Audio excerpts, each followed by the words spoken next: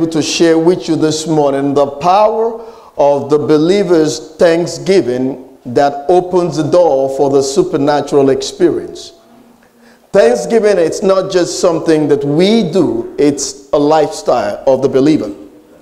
It's more than an act of uh, being kind, it's more than an act of being a nice person. It's more than an act of being a, a, a good person or being courteous, but it's the power principle that activates the God's power for the supernatural release of a complete wholeness and fullness of restoration in the life of a believer. I'm going to say that again.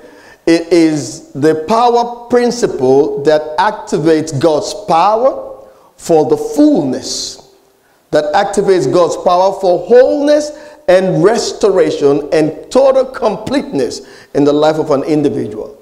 That's what Thanksgiving is. Let us bow our heads for prayer. Heavenly Father, we thank you for who you are. We thank you for this day. We give God all the glory. We give you all the honor. We are so thankful for the great and the many things that you have done. We are so thankful for the things that you are set to do in our lives. We appreciate your presence. We give you praise and glory as we receive your word today. We open up our spirit to be transformed by the power of your word. We engage your word in truth, and we thank you, Lord, that your word becomes our first priority and it stands as our final authority. In Jesus' mighty name we pray. Amen. Now, when you look at Thanksgiving, often times we think it's just words. Last year we showed you and shared with you that Thanksgiving comes with an attitude. Last year we tell you if you are thankful, you don't wait for an occasion to be thankful. It is a lifestyle. It's something that is seen in me. I, I walk around as one who is thankful. I act as one who is thankful. I deal and relate with people around me as an individual who is thankful. So it becomes a lifestyle. I don't wait for an occasion to be thankful. The way I deal in my community is as one who is thankful.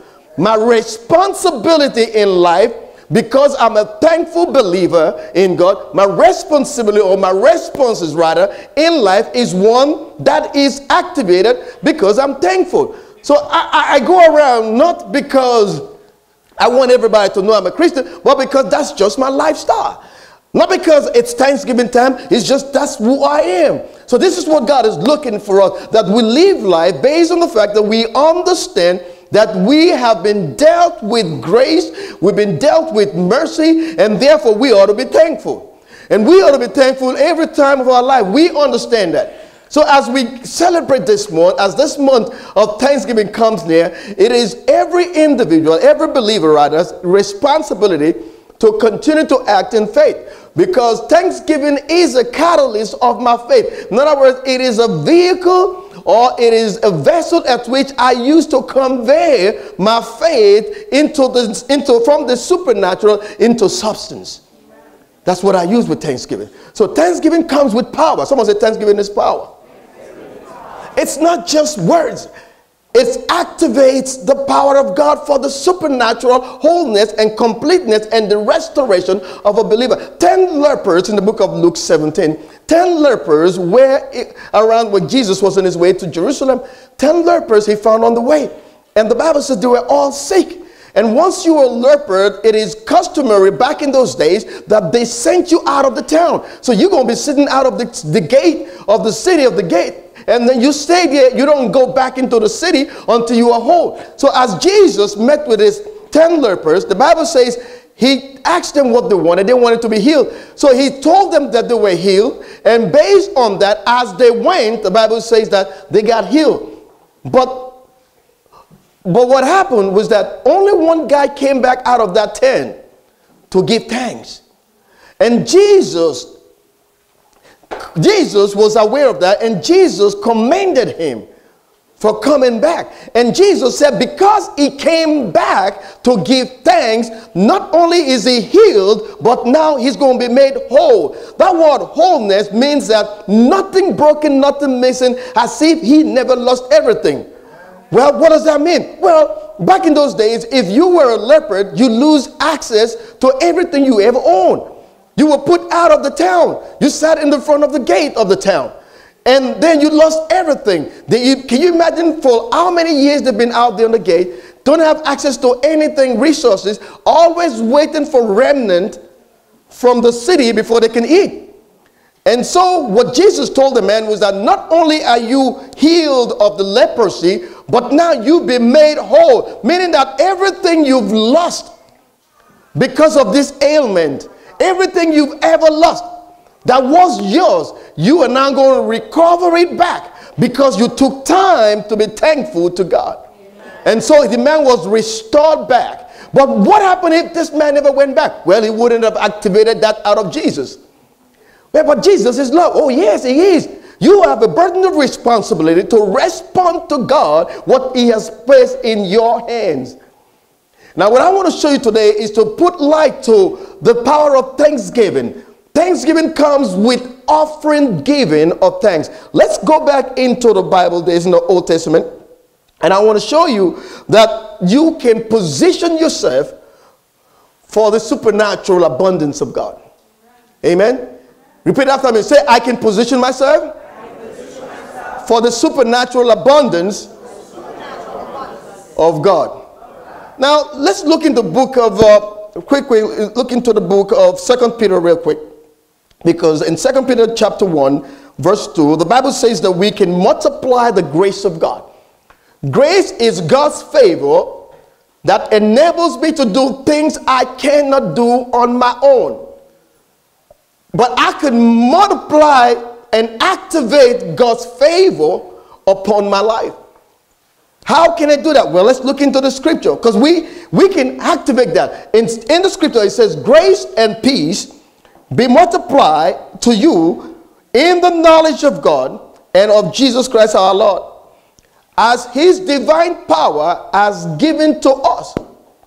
What has his divine power given to us? His divine power has given to us all things that pertains to life and godliness. You see that? His divine power has given to us all things. Say all things that pertains to life and godliness. Go to verse 2 real quick. His divine power has given to us all things that pertains to what? Life and godliness. How? Through the knowledge. It is when I know I have the accurate knowledge of what's been released to me. I can multiply that because of the knowledge of knowing that thanksgiving is powerful. God gives me the privilege to hear the word and also present me with an opportunity to exercise the word that I hear. Are you all with me? God will give you the privilege to hear the word, and that's knowledge. And it gives you the what? The opportunity to exercise what you've heard and that's how you see great results. Amen?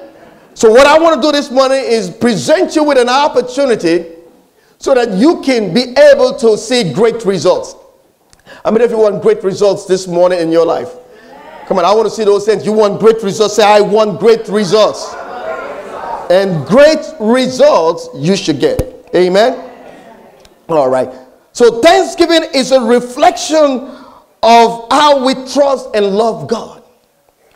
With everything that's happening in the world right now, with all the ups and downs, uh, economic uh, instability, we have a whole lot to be thankful for.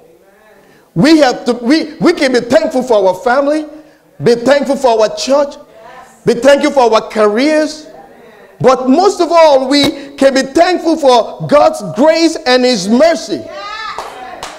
Those two sisters have been around for the longest. Grace and mercy. God uses these two sisters to be a blessings in our life. Amen.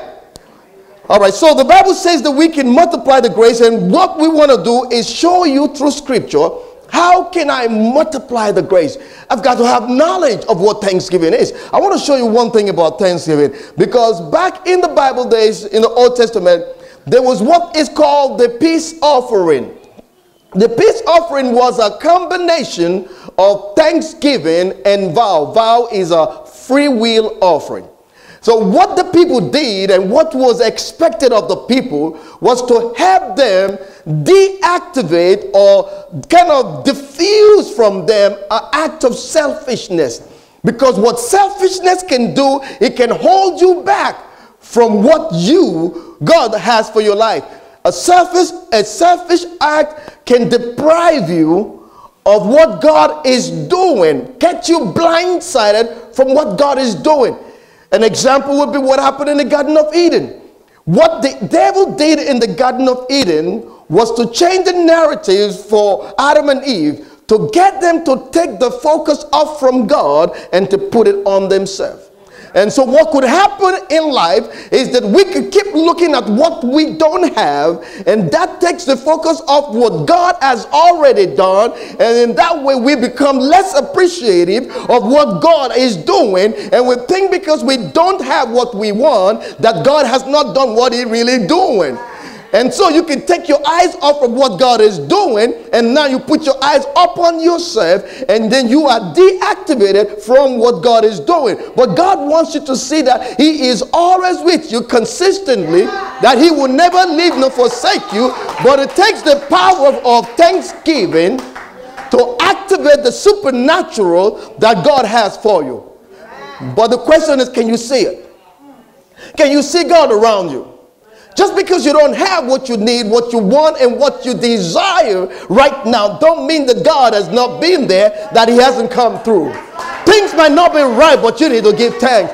Listen to what the Bible says. It says, Give thanks always, in all circumstances. Listen to it. He didn't say give thanks for these circumstances. It says, In it, while you in it, give thanks. Because it is the it is the nature of God for us to give thanks even circumstances are not right. Listen to what he told Israel. Israel were in a part where they were, they were part of their life where they were in bondage. I mean, he told them that you, as long as you are in bondage, you got to realize one thing. It says, just because you are in bondage shouldn't stop you from planning and getting married. He said, give your, your daughters to be married. He said, because the plans that I have for you, they are plans of good, not of evil. Just because things don't look right, don't stop the plan of God. Nothing on this earth, whether you respond to it or I don't respond to it, whether we don't respond to God, nothing on this earth changes the destiny of God. What we need to do is to reassemble ourselves and reconnect ourselves and realign ourselves to what God is doing. God is always winning and He is able to do exceedingly abundantly above all we can ask or think but we need to line up with his program. God has not come to take side with your program, but is looking for folks who will line up with what he wants to do. So when we look in the scripture this morning, come with me to the book of Leviticus. I want you to take a quick look at what's happening in the scripture in the Old Testament. You will find them talking about some terminology which, which has which is associated with farming, is associated with uh, uh, uh, um, planting seed and all that. But that's what they used back in the Bible days as a means of dealing, a means of sacrifice, because Jesus, this the Bible in the Old Testament was speaking to a community that was majority about farming and agriculture. All right, so we look into uh, Leviticus chapter 7 in the Amplified Version, from verse 11. It says, Now this is the law of the sacrifice of peace offering, which shall be presented to the Lord. It, if one offers it as a sacrificial meal, notice that word. If one offers it as a sacrificial meal or for thanksgiving, you see that? It says, if one offers it as a sacrificial, uh, sacrificial meal of thanksgiving, then, along with the sacrifice of thanksgiving, he shall offer it. So, a thanksgiving is an offering.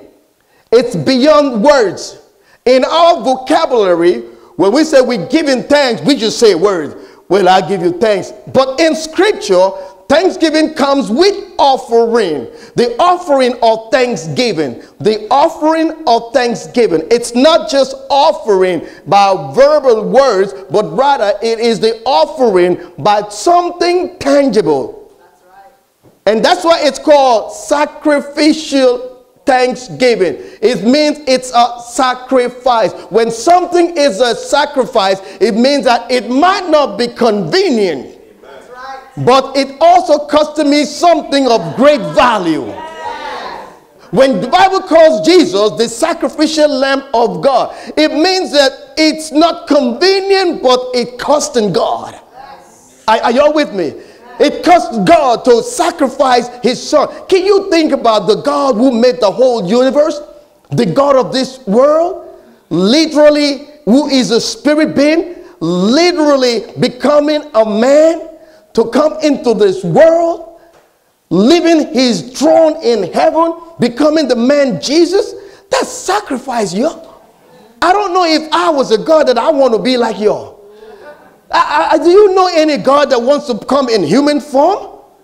I don't think so. So it took God a sacrifice to sacrifice his position and take the form of a man, humble himself, take the form of a man, and come in the man Jesus so as to feel what you feel so as to not understand what you're going through. And then he came to only understand and feel it, but to take away those sins and the repercussion that could come to the human race. That's a great sacrifice. It cost him something. When people say salvation is free, salvation is free, I don't think so. Salvation is not free. It cost God something. He had to let go do you know what Jesus said on the cross? The Bible says he was bruised for our iniquity. The chastisement of our peace was upon him. When you hear the word bruised for our iniquity, it was an unleashing of demonic uh, being, evil. The hell rose up against him. And because of us, hell attacked his body. Every demon in hell and the devil came out that day and they attacked his body, bruised for our own iniquity. They had a right to do that. Why? Because he placed his, his sin of the world upon himself, gave them access to bruise him. So he said, Why have thou forsaken me? That was great pain and anguish. It cost God something to come in form of a man, and the thing that he created now came and attacked him. Do you understand what it is to do sacrificial giving? God sacrificial gave because it showed us a model that this is how you sacrificially give. You don't, listen, you haven't given until that giving has become sacrificial. When you give and you go, mm, ouch, it hurts. Are you with me? Because Jesus says it hurts. He said, It hurts. He says, Why hast thou forsaken me? That's the anguish. Wow.